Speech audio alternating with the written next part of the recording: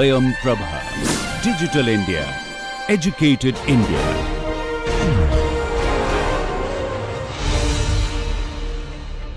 Welcome back, students. Uh, today we are going to start a new chapter. Um, it's basically stress strain relationship. So far, we are discuss uh, the stresses and its analysis, strain and its analysis, and also the stress equilibrium equation. So let us start with uh, the relationship between these two. I think you have studied it before. Uh, you have studied it before in your uh, previous classes or even in also higher secondary. The basic thing you know that strain uh, strain is proportional to stress. this you used to know. now this is called uh, Hooke's law in one dimension. So if uh, you apply the stress and it's continuously increasing, then strain, uh, remember that this is what I'm saying is the normal strain. Okay. So the normal strain also increases with the normal stress. So this is the normal stress. Okay. So this you already know. Now what we are going to do today, we want to generalize it for 3D. And then we will see how to bring it back into 2D. So 1D we already know. So let me start with uh, a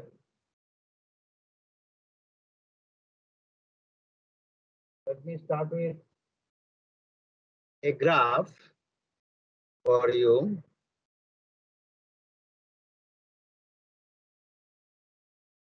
Oh, this is different color. Now, this is strain and this side is stress. Or this can be force and this can be displacement. So let's say I have a cylindrical sample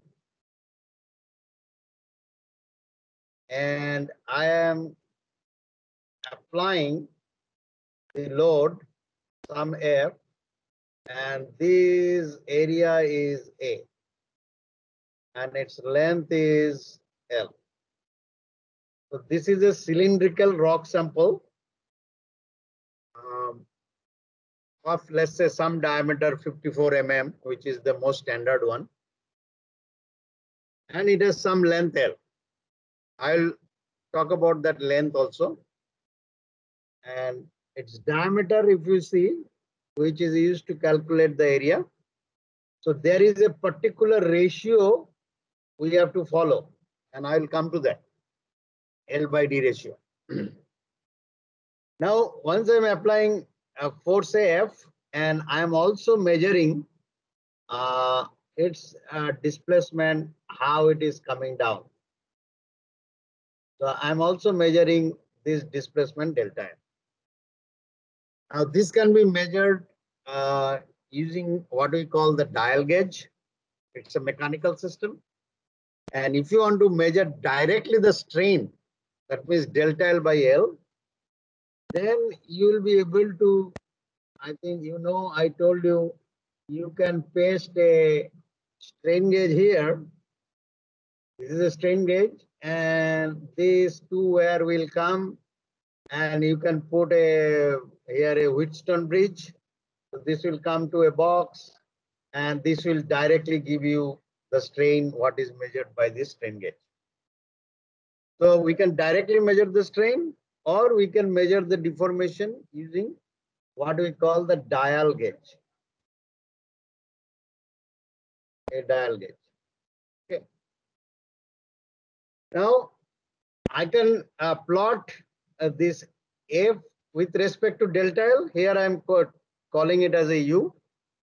or I can divide sigma as F by A and strain if I am directly measuring from here, it is one thing. And if I am not directly measuring, then delta L by L. This is the strain. So as I'm applying the load, uh, we are increasing this load. So, so as the delta L will increase, so F is increasing, so sigma will increase and so as the strain. And that according to Hooke's law, because it is 1D, it should be linear. Because this relationship is epsilon is basically 1 by E sigma.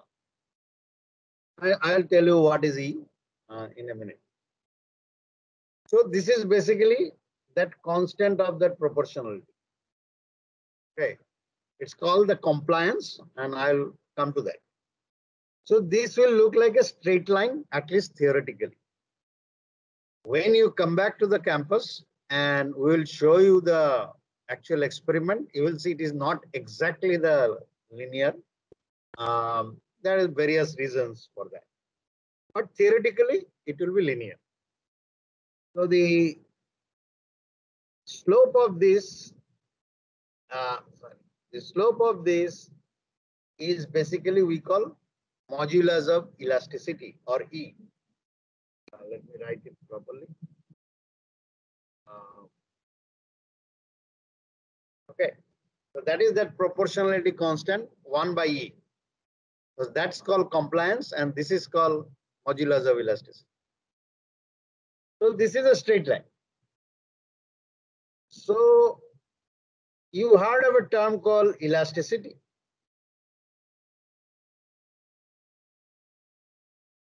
Can anybody define what is elasticity means?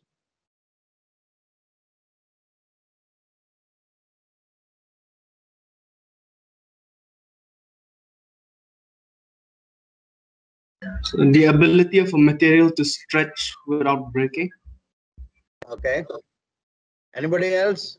I'll take one more. Yes, talked about the ability of material to stretch without breaking. I think I will uh, partly accept that. Either stretch or shrink, it doesn't matter. Uh, in this case, we are trying to um, change the shape or making it uh, smaller. However, the main idea is when you release the load, the that stretch or whatever the shrink you have done it should come back precisely to its original position. That's why you have used the word without breaking. It means that, that there is no energy has been consumed for breaking the rock or for other purpose. It's just purely elastic energy which was uh, developed in the body. And when you release the load, that energy is also released. Okay. And as a result, it precisely goes back to its original position. Okay, that is basically elasticity. So in this case, this is purely elastic. So I'm increasing the load. I'm increasing the load. And if I again decrease the load in this direction, it will precisely follow this line. Then it is a purely elastic material or we are doing a test within the elastic range. But what happens when we reach to its maximum value? When you reach to its maximum value, then it can it can go in many different ways. It can go this way, it can fall this way, it can abruptly fall, or it can be straight also. So there is many different path it can go. You can see there is infinite way. It can it can go after it reaches its maximum value. There is a maximum value of the stress, which we normally call yield strength.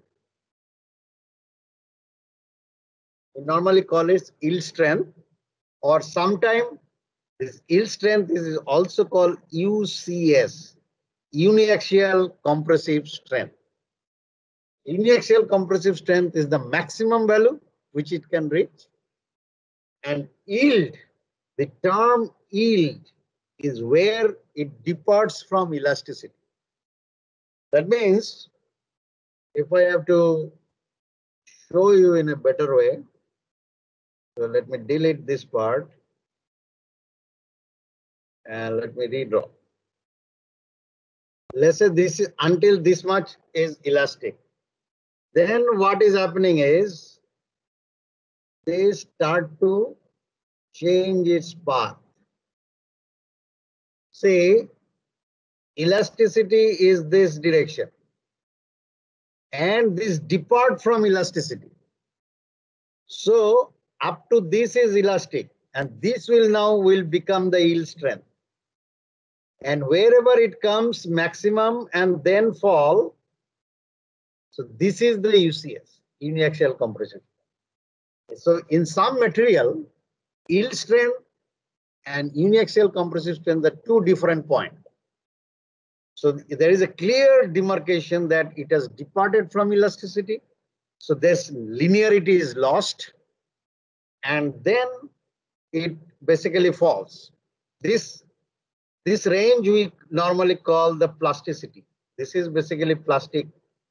I'll come back later about this. And from here to here, we are terming it as a elastic.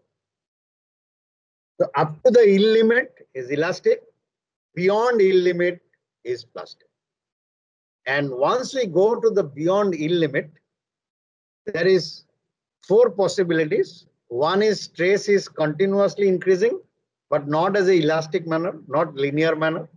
But with strain, it increases, just like steel, it does.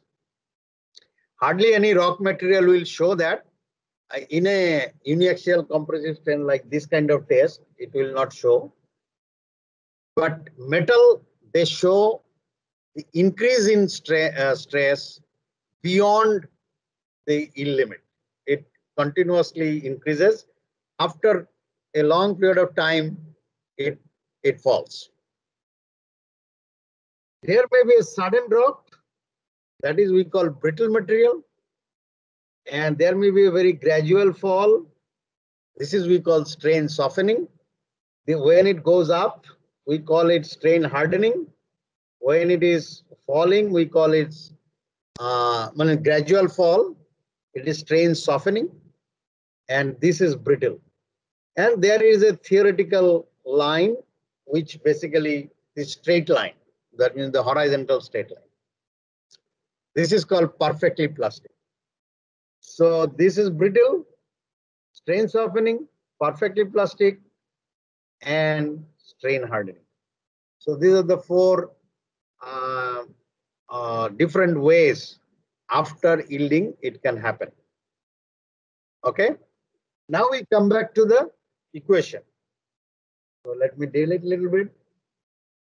I can. So the, when you test, it will it will happen like this. So we are still in 1D.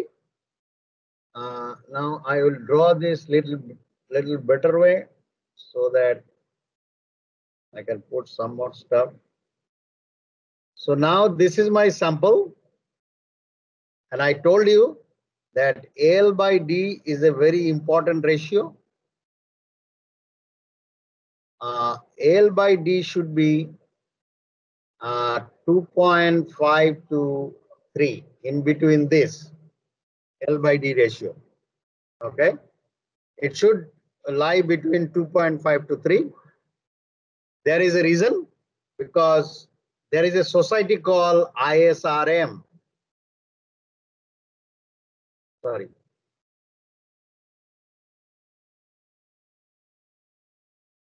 ISRM, International Society of Rock Mechanics. They have suggested this. Now the reason is uh, manifold. One is the stress should be developed in the in this body you know, very uniformly. So that's why we need certain length. Because the way we apply the load is there is a steel platen here, there will be a steel platen here, and the sample is sit in between them. Then this has a hydraulic actuator, which basically come down and this is fixed. So as a result, first when this is the contact place between the rock and the steel platen, and the, due to this corner, the stress concentration is very high in the corner. But as we come little down, the stress normally this concentration here it is very high concentration. Then as we come down, they are becoming more or less uniform. Here also very high uh, stress uh, concentration. So that's why they said we need a sufficient length with respect to uh, diameter so that stress basically become uniform. This is one reason. And another reason is when the failure occurs, they should occur along a shear path. So if they occur along a shear path, then this is a perfect test. So means the sample will break something like this in in in this fashion. Uh, and as a result, we also need that length. Then only it will be considered as a perfect test. Now, if you make uh, too small, you make too small, let's say about 1.0 or something, same ratio, then this phenomena will not happen and the sample will just crash. And in that case, uh, we will not consider it as a as a test for uniaxial compressive strength measurement. And if it is too long, that means if more than three, then uh, what will happen is this may go buckle, okay? And it, it may fail somewhere around here. So that is also is not is not expected. Is also not expected uh, expected here. So that's why they have suggested why after a lot of testing from different countries that this should be the ratio. Then there are also restriction on how quickly we can we can give the load. That means at what rate uh, this platen should come down. So all these things are there. When you will do this experiment uh, in our laboratory, then all these things will be explained to you in great detail. Okay, then uh, we measure that delta L and we uh, uh, we measure also the load and from that we calculate the uh, stresses and strain and then we uh, in your laboratory experiment also you will plot that graph up to the failure. So there will be sigma and there will be epsilon. So from that graph, you will get the UCS, uniaxial compressive strength. You can write that UCS is uniaxial compressive strength. You will also calculate the modulus of elasticity, the slope of this line, the straight part of that line. This is called modulus of elasticity. So this is a elastic property. Uh, you can see for the same UCS, the response can be very different. Okay. So one may go this way, which is very stiff. One is very soft. Okay. That means this allow lot of displacement to occur, deformation to occur before breaks. This doesn't allow much deformation before it breaks. So this basically we call this is going towards ductility and this is kind of a brittle material. So from the nature of the value of E, also we can find out whether it will be a ductile material or a brittle material. Ductile means strain hardening. Okay, this will go uh, above after the yielding also. Okay, so I hope you understand this part. Uh, the testing part, we, when you come, we will do, uh, you will do properly. But you remember that there is a, a, relationship between length and the diameter. You can just not arbitrarily choose. Um, and also, uh, while testing, there is a certain rate we maintain, and that is very, very, very small rate. Uh, what you call the strain rate. It's a almost 10 to the power minus 5 per, uh, per second. So it's a very small rate we apply because it's a static uh, testing. So I the Hooke's law told us that epsilon is 1 by E sigma or sigma is equals to E epsilon. This is you already know. Now, I think last class or so, I have told you uh, when we load like this, in a even in one dimension, uh, even in one dimension when we load, uh, the sample also increases in. Yeah, is anybody has a question? See,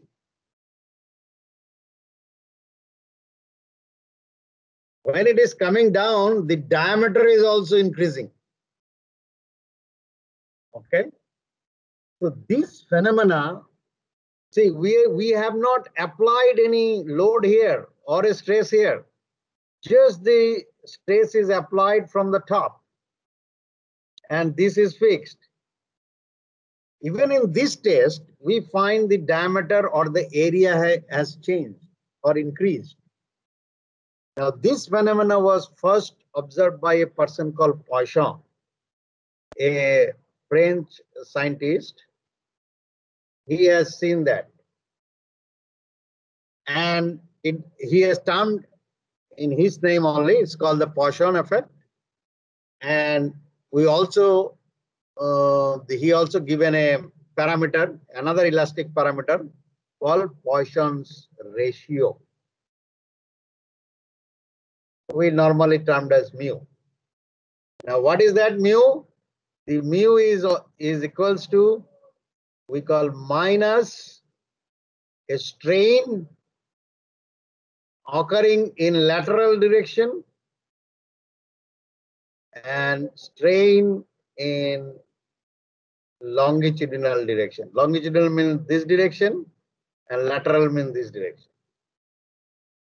It is defined at any given stress, the lateral strain, that means the strain occurring in perpendicular to the loading, divided by in, in the axis of the loading.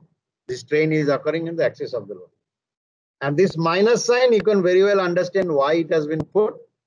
See, if one is compression, another is tension. So compression, if you consider positive, this is negative. So this will be negative, this will be positive. So we have to make this parameter positive. That's why this. If you are stretching, then longitudinally it will be uh, negative and its diameter will shrink. So that will become uh, uh, positive. So again, it will be positive, negative. So we have to put that negative sign. Okay. So this is what we call the Poisson's ratio and the effect because of a uh, normal load, the sample uh, also exhibits strain in its transverse direction. That means perpendicular to this load, loading direction. So that effect is called the Poisson effect and the ratio is called the Poisson's ratio. This can happen at any, any stress level. Okay. It can happen in any stress level. But in a global sense, we write E longitudinal by E lateral. Okay, E longitudinal means in the axial direction, whatever the modulus of elasticity uh, divided by elasticity in the in the lateral direction. It it it also defines like this, but actual definition is this. But in a global sense, in an average sense, we put it like uh, like E longitudinal by E lateral. Okay. But you will measure it using this. Okay, so the there are two elastic property I told you so far. One is E, oh sorry, I'm deleting it. One is this E, another is this Poisson ratio. Yeah, Sir, the ratios of elasticity is there with positive sign or negative? Technically negative. hi, yeah. Can you re- can you repeat it again? So the uh, so the ratio Okay, let me explain. I think if I understood a little bit, you, you are you are asking why this minus sign is there.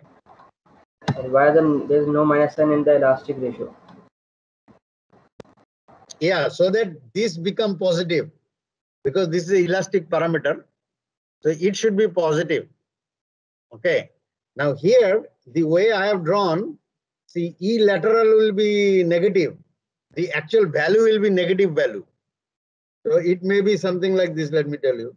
The Poisson ratio may be, uh, what I'm writing, okay. It may be minus minus let's say 10 to the power minus 4 and by um, 5 into 10 to the power minus 3 it may be something like this. That's why it will come positive. Uh, because this is this is in compression so positive and this is in tension this is minus value. But we have to make it positive. That's why that minus sign is there. Okay? You understand because this is this is intention. Okay? That's why.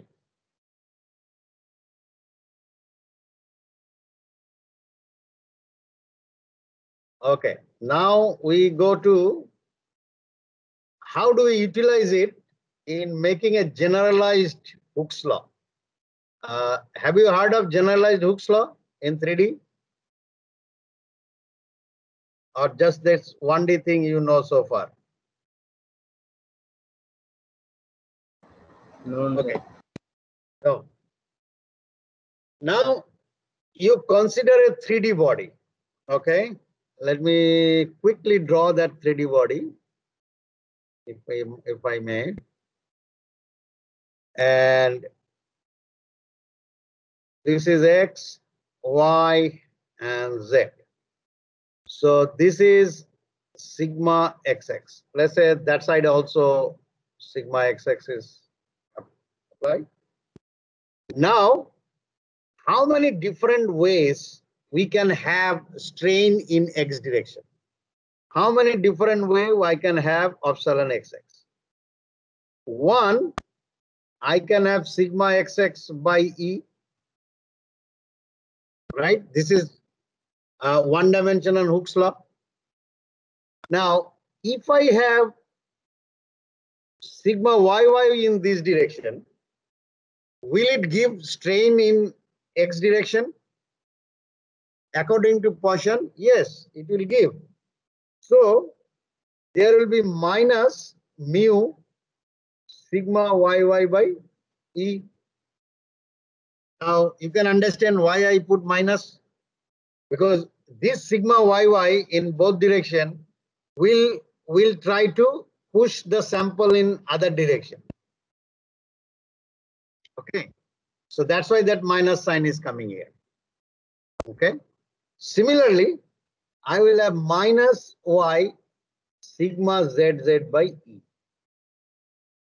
So you see that epsilon xx can come from directly from sigma xx and due to Poisson effect from these two other direction. Okay. So this is now getting the generalized form. Similarly, you can write epsilon yy. Uh, I just writing epsilon yy so that you understand what it is. Plus sigma yy by E minus mu sigma zz by E. Okay. So this is how the strain, normal strain, normal to this plane. Okay, normal strains are written. Similarly, sigma zz you can write. Now here you can see in each direction when I'm writing, I am writing the same E and same mu. Okay. What I'm assuming is in all directions, in all directions, this elastic property, that means the modulus of elasticity and the Poisson's ratio, these two are same in all directions. If this you are assuming, say this is an assumption, okay? This assumption will be called isotropic assumption or isotropic behavior of material. This is what you are you are assuming that material is isotropic. That means the property, elastic properties are same in all direction or for that matter any other properties are same in all directions. Then it's called that material is called the isotropic material. If this assumption is not correct, that means in some direction properties are different than the other direction. I will come to that later, maybe next class. That is called anisotropic. Okay. Um, anisotropic assumption or anisotropic material. Okay. Now here we are assuming the isotrope. First with isotrope. Now this happens to normal strain and normal stress. This is the relationship. Now, what happened to the shear stress and shear strain? Now, shear stress is normally shear strain rather, gamma is written as tau by something called G. G is also an elastic property. This is called modulus of rigidity or shear modulus. You can simply call it shear modulus or some books also call it modulus of rigidity. Okay. Now this G has a relationship with these two properties. G is equals to E by 2 into 1 plus mu. Uh, now, I'm not going to prove it in this class, but I will I will request my TAs to uh, prove that thing in their tutorial class. This is already in the book. If you do not understand, uh, then they will they will uh, you know explain it to you how this relationship came.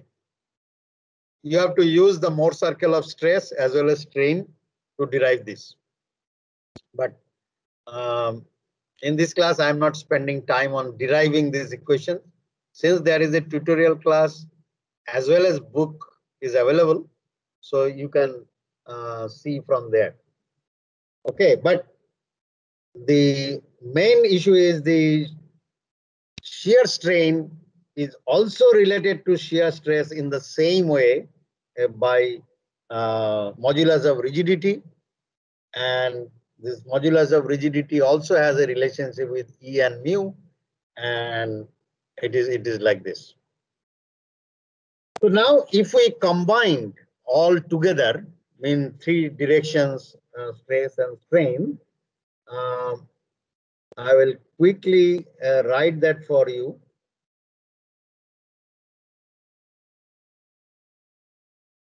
Uh, relationship in 3D will come like here sigma xx, sigma yy, sigma zz, then tau xy, tau y, uh, and tau zx. uh, if I do write this 1 by E, this you can see the first one will be 1. Uh, here it will come. Oh, sorry, sorry, sorry, sorry. I have done mistake. This one all will be epsilon. Sigma will go that side. This is gamma. And sigma xx will be here. And so on. Uh, this will be uh, tau zx. Okay. So this you can see this will be 1, then minus mu, minus mu 0, 0, 0, then minus mu 1. Sir, nothing is visible, sir. Nothing is visible. Uh, actually, uh, it got stopped at the. Uh, yeah, now it came, sir. Actually, it, it was a bit late. Oh, okay, okay. Oh, check it. You just uh, you can write it also. it is coming now? Ah, yes, sir. It's okay, sir. Now. Okay. Yes, sir. Yeah, uh, the network has some uh, something to do with that, I guess.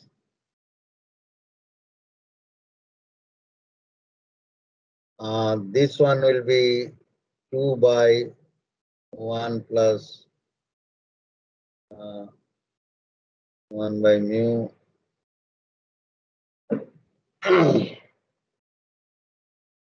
Mm, I think 1 plus mu by 2, sorry. Let me delete.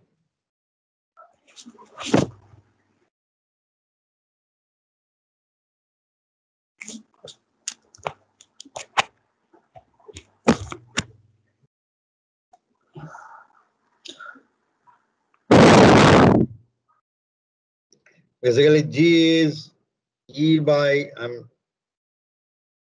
this. So I'm just reversing it so that you you understand. Uh, this is 1 by E by 2 into mu. So this is what is happening.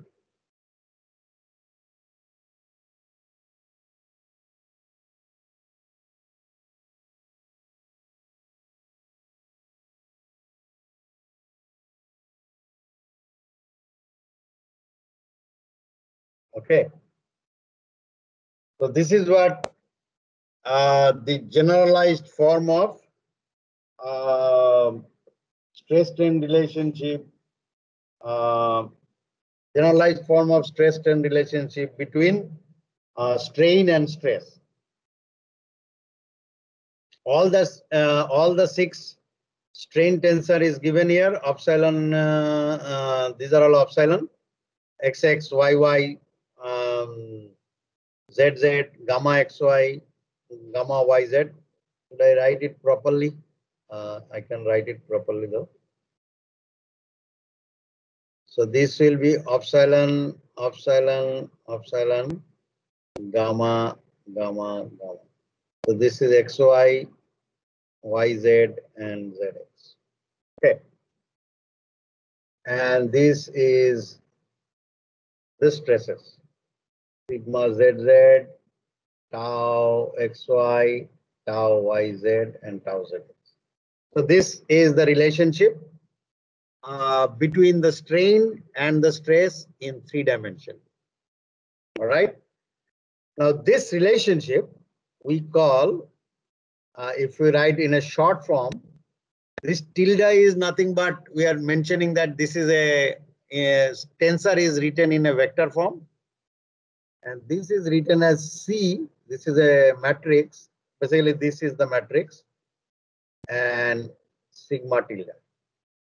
Now, this sigma is again this in a tensor form, and this is this. The C matrix is called the compliance matrix. Compliance. POM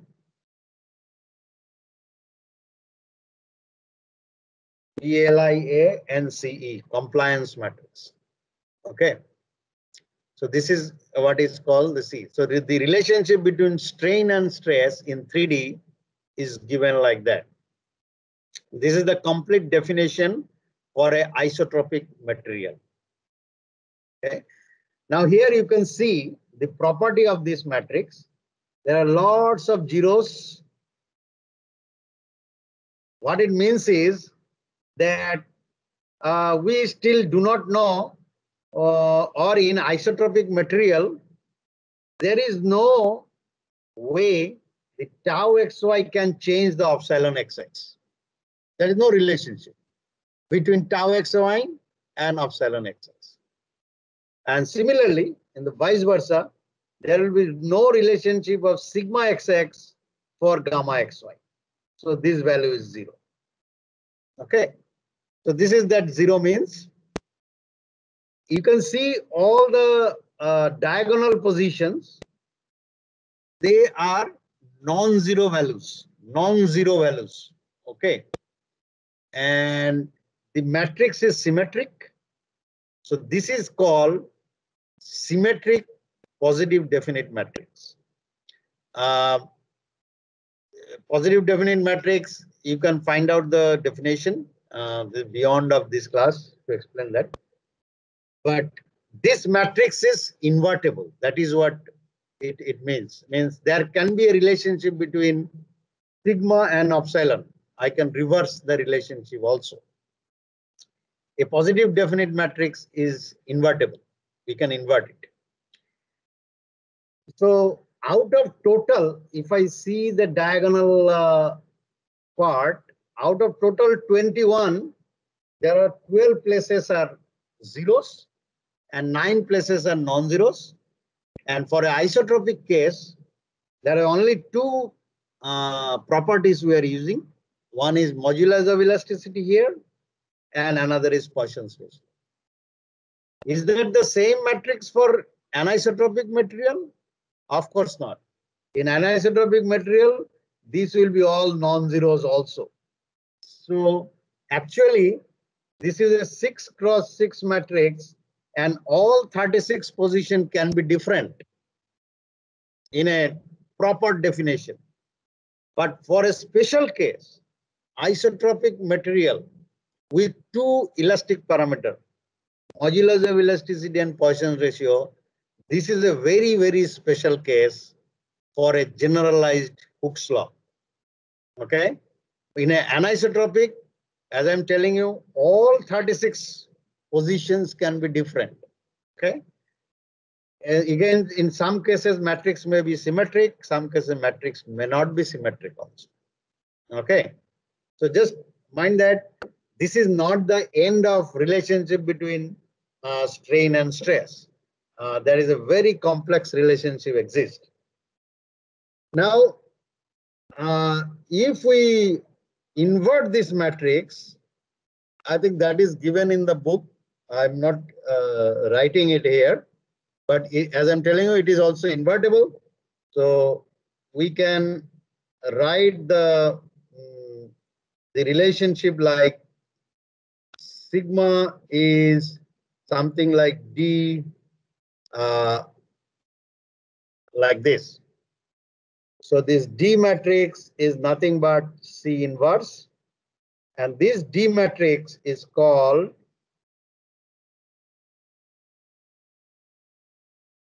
constitutive matrix. Okay. You know, every every country has a constitution, right? And uh, the rules and regulations of that country is governed by that constitution, right? Here also, the, from there, this uh, you know word has been borrowed. The material is governed by the relationship between this stress and strain, and that relationship is constitutive matrix. So that governs the behavior of the material, how that material will behave. And when you apply a load, it deforms, it creates the strain, and that strain, in, in other words, create the stress, and that governing factors are this D, D matrix, which is called the constitutive matrix. Okay, so this totally control the behavior, how it is going to behave. Okay, so that's a D matrix or the C matrix. we use uh, we we like to use both, but D matrix is the most we use.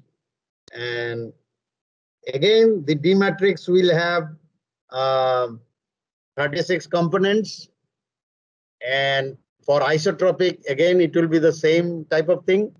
Uh, there will be only two parameter, but for anisotropic, all 36 can be different. Okay. So this is how we are defining the uh, behavior of material or the relationship between stress and strain in three dimensions. Okay. Now let me give you a very uh, small problem from the book, which you can which you can uh, solve very quickly. Uh, let me open the book and I'm giving you. Let's say a, a copper uh, cable, a copper cable uh, is hanging. A copper cable is hanging in a, I'm not sure, do you know what is mine shaft yet?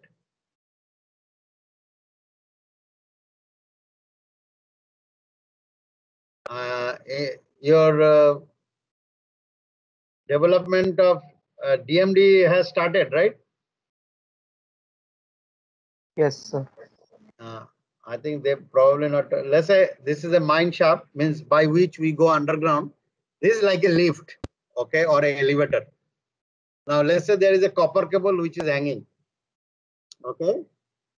Now the maximum permissible uh, stress is 8 MPa of the, on this copper cable with a density uh, rho. By the way, uh, you are able to do last uh, last days uh, that problem I gave you. It is more or less same thing. So the density is uh, 9000 kg per meter cube. So you have to determine uh, what is the maximum uh, deformation can happen to this uh, cable.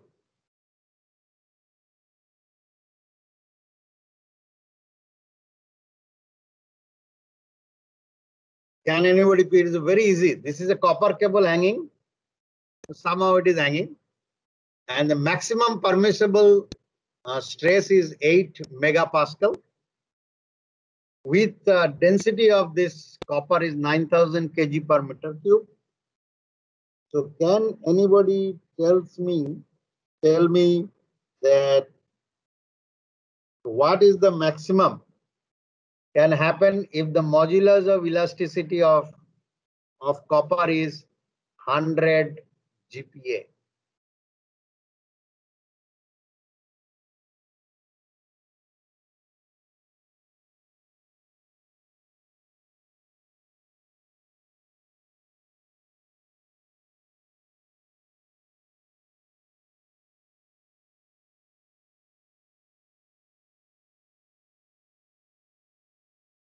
How you are going to solve?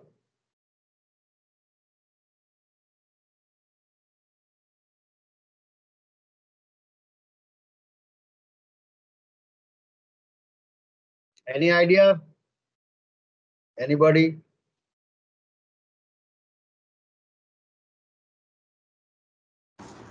So 64 by 900 meter. Maximum deflection.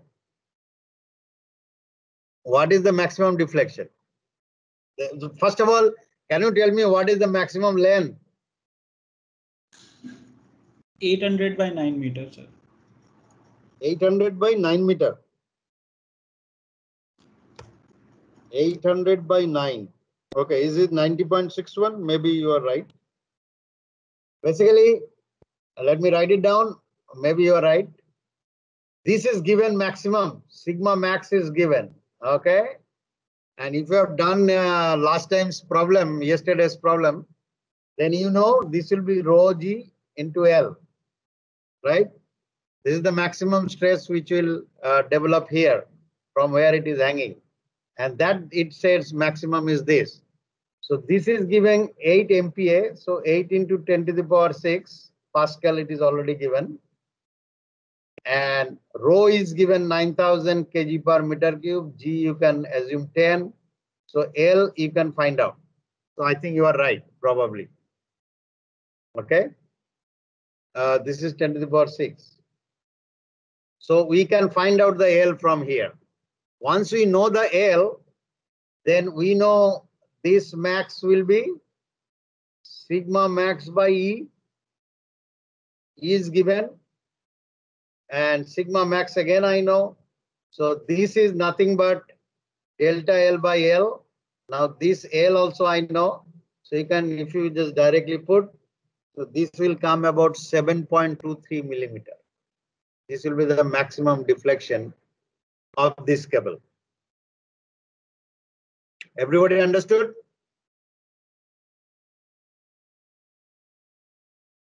Yes, sir. Or uh, you understood, right? Yes.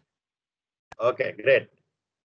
Um, now let me give you another problem. Well, I don't like to rush because these are very basic things you must understand. Uh, do I have time? Okay, maybe I can just give you that.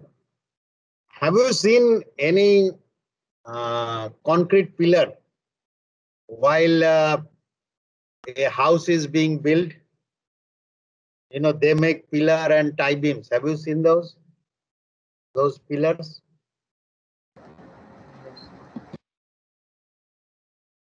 Have you seen how they make the house?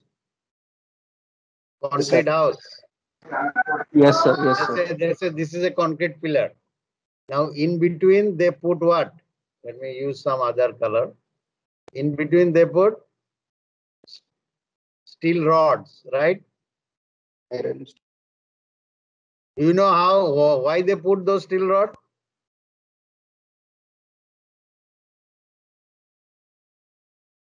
If they do not put those rods, what will happen to this pillar? That may buckle. That may buckle. Okay, no.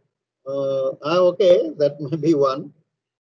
Uh, basically, it gives its inherent strength. It increases in inherent strength, mostly in uh, tensile mode, or as we said in the buckling, also in the some form of ten, tension only.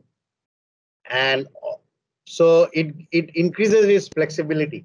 Otherwise, if you put only concrete, concrete is very much brittle and steel is basically ductile.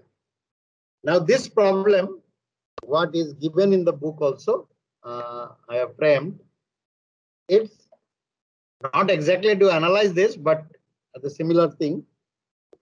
So a concrete pillar, uh, and that is basically circular in shape, not this, that is, that is circular in shape. So about 0.5 meter diameter, okay? I'm giving you the problem. If you have book, you can see it is 5.2, example 5.2. Now this is reinforced by these uh, steel bars or steel rods. And the combined area of these steel rods are 5 into uh, 10 to the power minus 3 meter square. Okay, this is of the uh, cross sectional area of the rods. And this is of the pillar, A of the, uh, sorry, D of the pillar.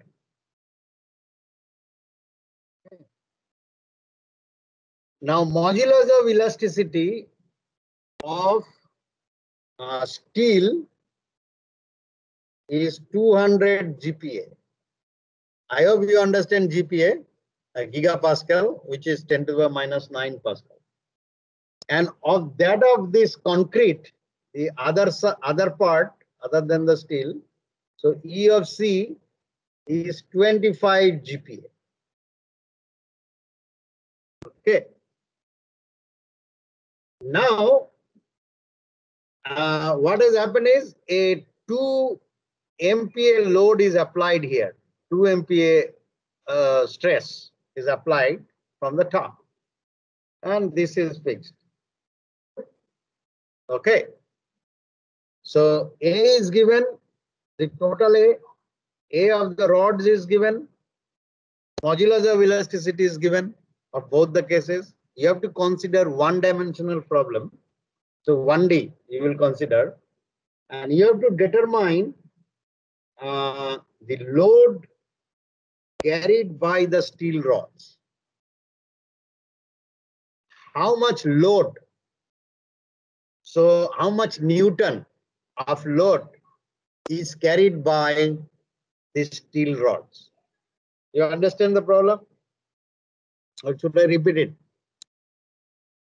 So the area of the pillar is, uh, sorry, diameter of the pillar is given, which is 0.5 meter. Area of all the rods are given 5 into 10 to the minus 3 meter square. Modulus of elasticity of the steel and concretes are given. Now, the question is asked, if 2 MPa's uh, stress is applied on the top, how much Newton of load is being carried by these steel rods. Okay. Now you do it in your home because we are out of time now. I give you a hint. What you have to assume the deformation of concrete and the deformation of the steel rods are equal. You have to start there. So delta concrete is equals to delta steel. This is the basic assumption you have to do. Um, the deformation of concrete is equals to deformation of steel. I think you start with that and use the 1D principles, um, stress strain relationship and the stress area relationship, all this, so you'll be able to do it. Okay. So I will see you. I will see you again next week. And in between, I think you will have a tutorial. And I will pre I will give you this uh, lecture material very soon. By weekend, maybe I will upload so that you can study. Okay. Thank you very much.